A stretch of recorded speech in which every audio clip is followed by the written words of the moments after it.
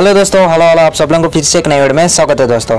तो दोस्तों, आज का वीडियो में हम बात करने वाले डब्ल्यू सी सी थ्री का न्यू मिशन आया है दोस्तों, जैसे कि आप सब लोगों को पता है न्यू स्टेडियम मिशन आया उसके लिए आप लोगों को पाँच प्लेटिनम कॉइन्स देकर अनलॉक कर कर आप लोगों को खेलना पड़ेगा दोस्तों। तो दोस्तों डब्ल्यू सी सी थ्री को ये मिशन फ्री कर देना चाहिए दोस्तों मतलब जो डेली मिशन का जो स्टेडियम है, उसको फ्री कर देना चाहिए दोस्तों। तो दोस्तों, आज के वीडियो में हम इसी के बारे में बात करने वाले दोस्तों। तो वीडियो बहुत ही ज़्यादा इंटरेस्टिंग है दोस्तों तो चलिए जल्दी से जल्दी वीडियो शुरू करते हैं। तो वीडियो शुरू करने से पहले अगर आप इस चैनल में नहीं है तो सब्सक्राइब कर साथ में बेल आइकन को भी प्रेस करके रखना दोस्तों। इससे हम मोटिवेट होते हैं दोस्तों और आप लोग ऐसे बहुत सारे वीडियोस लेकर आते रहते हैं दोस्तों और लाइक और शेयर भी कर दीजिएगा दोस्तों। तो चलिए जल्दी से जल्दी वीडियो शुरू करते हैं। Yeah.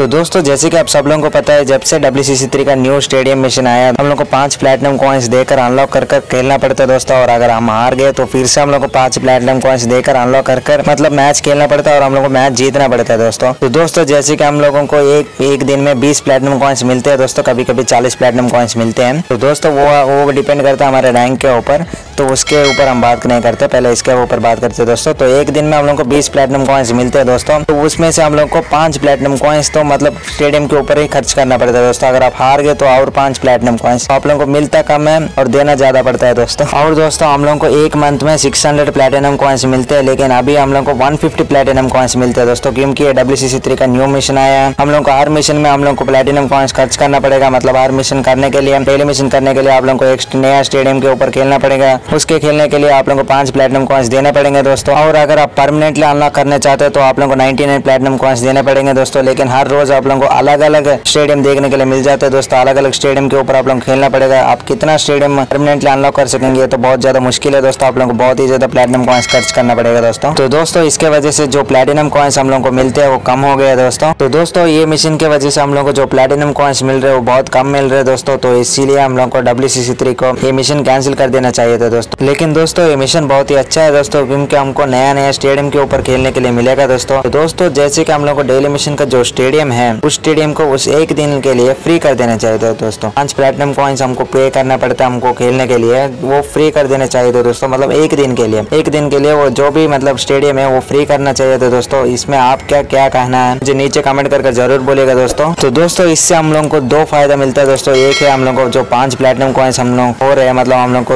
बीस प्लेटिनम कॉइन्स पूरे नहीं मिल रहे, वो भी बीस प्लेटिनम कॉइन्स भी पूरे मिल जाएँगे दोस्तों। और एक है हम लोग को नया नया स्टेडियम के ऊपर फ्री में खेलने के लिए मिल जाएगा दोस्तों। तो दोस्तों डब्ल्यू सी सी थ्री को इसके ऊपर काम करना चाहिए। था दोस्तों, और इसके मतलब जो भी है मतलब कुछ भी करना चाहिए दोस्तों, क्योंकि हर रोज हम लोग पाँच प्लेटिनम कॉइन्स खो रहे हैं दोस्तों, इसके ऊपर कुछ ना कुछ करना ही पड़ेगा दोस्तों डब्ल्यू थ्री को। तो दोस्तों, इसके बारे में आपका क्या कहना है, मुझे नीचे कमेंट करके ज़रूर बोलेगा दोस्तों। तो दोस्तों, इस वीडियो में बस इतना ही। अगर आप इस चैनल में नया हो तो सब्सक्राइब करके साथ में बेल आइकन को भी प्रेस करके रखना दोस्तों। तो मिलता अगले वीडियो में दोस्तों तो तब तक के लिए अपना ख्याल रखेगा अलविदा।